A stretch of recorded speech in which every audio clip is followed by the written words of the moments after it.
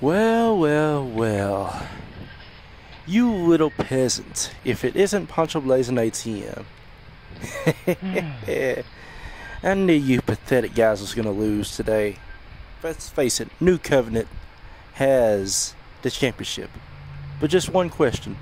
What are your plans for next season? Well, James, I gotta say, uh, even though we can't stand each other, and I don't like you that much, yeah, even though uh, we lost against Puddin' this morning, uh, we did the best that we could.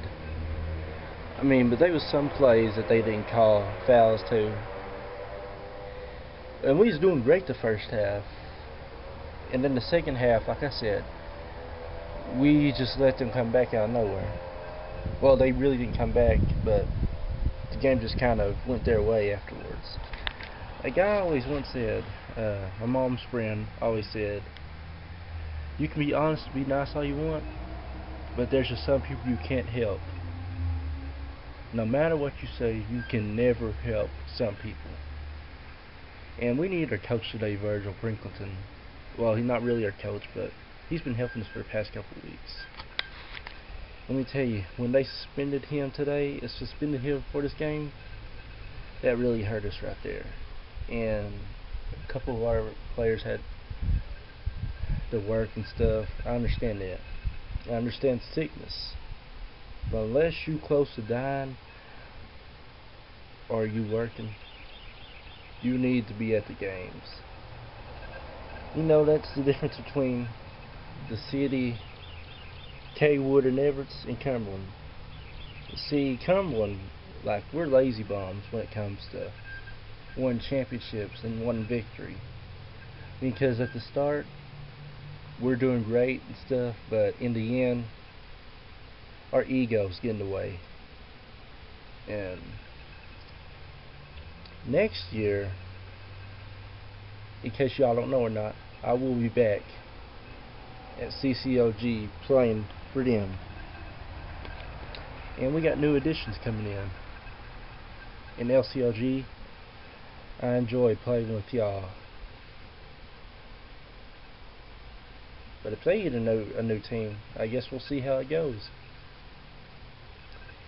And as far as the championship goes, uh, down there at the men's league, I'm looking. Uh, New Covenant's got it all the way. I said at the interview previously in February, I said that Wallens would be the team next to them, and I still think they will. But New Covenant season, they've been dominating. Spurlock, uh, Jake Spurlock, uh, Gary Greer, Pete, Paul Harold, Peanut, Adam Reiber, and Jordy Brewer they've been dominating the entire league this year. They're like the Miami Heat of the HC Men's League. And their coach, John Carter, is not even there, so.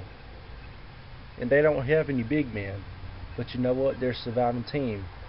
And they're determined. And the coach works with them. And if we're going to win any championships or anything, Cumberland, we have got to put our egos aside and we have got to start playing real good.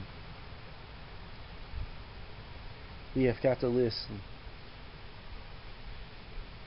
And who knows? Next season, this that season may be our last chance of winning a championship or a title.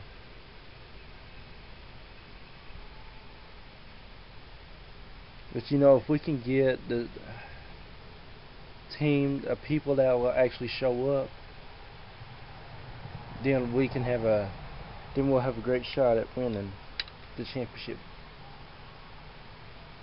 And Mark Lawson, uh, man, McIntyre, Drew McIntyre, Mr. McIntyre, he was like, in the closing minutes of the game this morning, he was like, let's go back to uh, front court, guys. We got this. But Mark said, no, keep the guys right there. And I gotta tell you, the way I played defense today was better than probably what I played.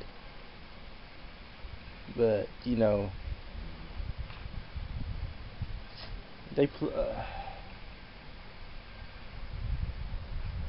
far as paying refs and the way they set their league up and stuff, you can't help that. All you got to do is just just depend on God.